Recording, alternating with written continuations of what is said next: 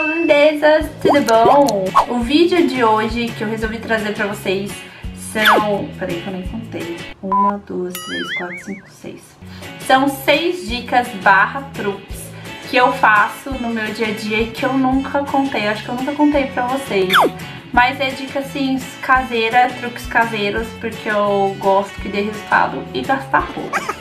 Mas enfim, então se você já gosta desse tipo de vídeo, deixa o like, se inscreve aqui no canal, compartilha com os amigos, avó, tia, periquito, papagaio, pra me ajudar na divulgação. Se você ainda não me segue lá no Instagram, vai lá me seguir que eu tô sempre conversando com vocês por lá também.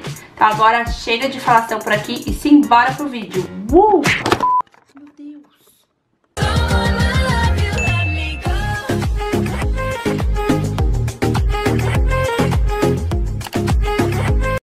Então vamos lá, a primeira dica que eu faço, eu tô sem maquiagem, é, ignorem a minha cara assustadora com essas olheiras.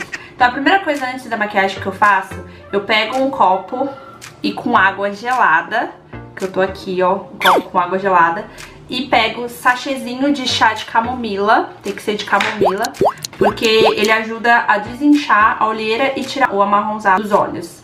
Então eu a Xuxo aqui, Xuxo, Xuxo é muito bom, né? Eu coloco aqui dentro da água gelada, aí eu aperto, tem que estar tá gelada, tá, gente?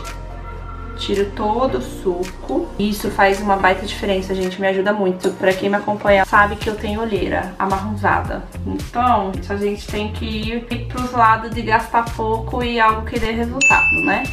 Então aí eu faço o quê? Eu deixo aqui e deixo agindo por 20 minutos. E aí você faz esse teste, olha que linda que eu tô. Você faz esse teste e depois me conta se deu resultado. Dica 2. Sempre tem o dia que eu tô na correria, que não dá tempo de lavar o cabelo e eu preciso estar com o cabelo discretamente limpo, né? Ou quando eu vou pra academia, ou no dia seguinte eu vou trabalhar e não dou tempo de lavar o cabelo, enfim. Eu uso bicarbonato. Eu faço assim, ó. Pego um pouquinho de bicarbonato. Ou uso bicarbonato ou maisena. Maisena também dá super certo. Peguei um pouquinho aqui na mão. E vou fazer uma mega sujeira agora no meu cabelo. E aí eu venho abrindo. Ah! Acho que eu peguei demais. Calma, eu peguei demais. Eu venho abrindo e jogando aqui. E vou espalhando assim, ó.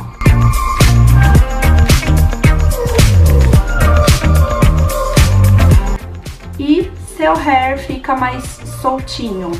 Porque quem sofre de oleosidade, cabelo oleoso, sabe do que eu estou falando. Então precisa utilizar esses truques. Então tá aí essa dica super válida.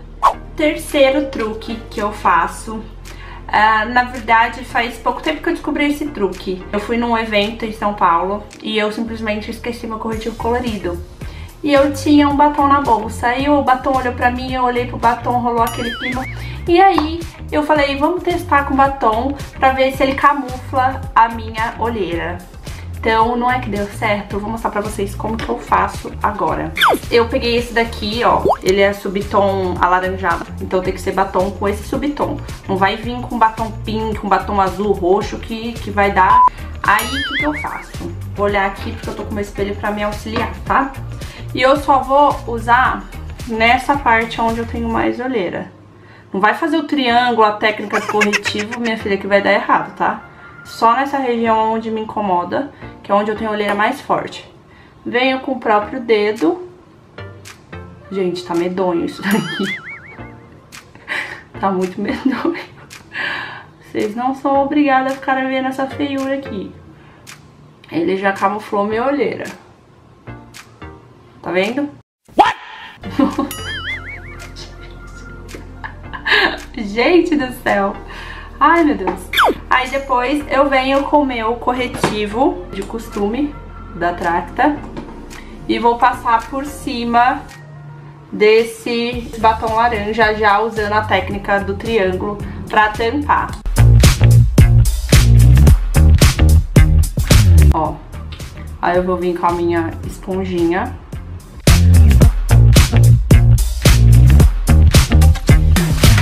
Olha como tampa, sério. A técnica do batom...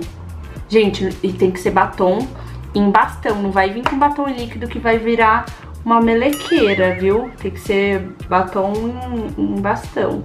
Que tem que ser sequinho. Olha isso! Gente, cobre muito, cobre... Funciona, pra mim, funciona mais do que um corretivo normal pra camuflar. Agora eu vou fazer o outro olho e vou fazer a preparação da pele, porque vocês não são obrigados a ver essa coisa aqui desse jeito. Então eu vou lá e já volto. Voltei! Então, gente, é o seguinte...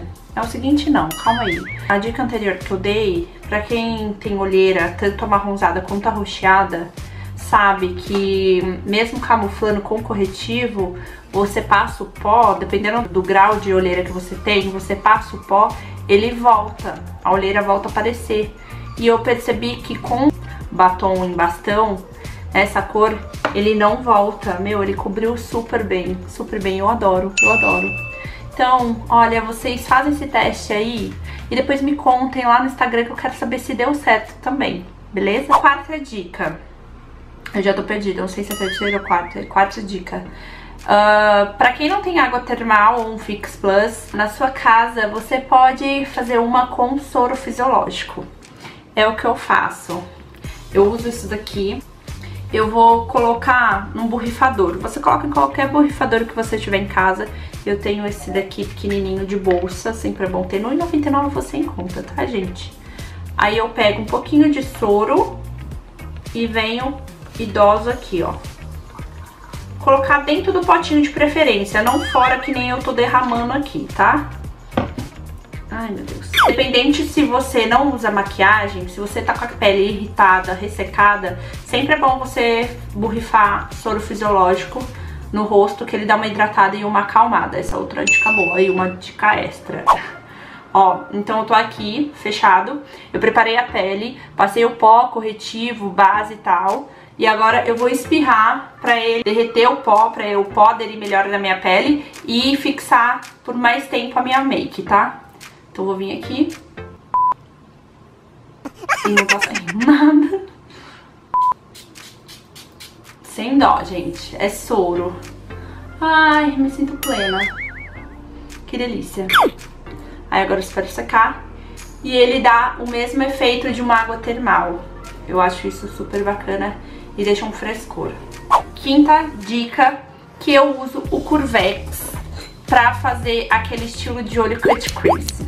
Eu vou mostrar agora pra vocês, Curvex limpo de preferência. Eu peguei um pincelzinho mais denso, esse daqui, e um outro depois pra esfumar, mais soltinho. Vou pegar uma sombra que eu escolhi, essa caramelo aqui, pegar bastante.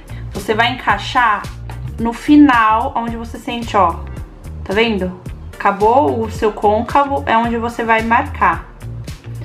Aí você vem com a sombra e passa aqui esfumando. Deixa eu pegar um pouco mais.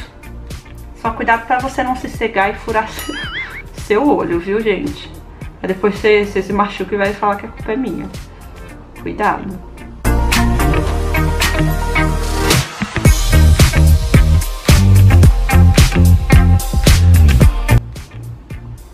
Olha isso! Gente! Aí depois eu venho e eu não esfumo aqui essa parte, tá? Eu esfumo só em cima, acertando o que aqui ficou falhadinho. Olha isso! Não é demais, gente? Porque quando você faz com corretivo, você corre o risco de ficar torto ou desalinhado. Agora eu vou fazer o outro olho e já volto. Olha esse cut crease. Claro, agora tem que finalizar o olho, mas cut crease feito.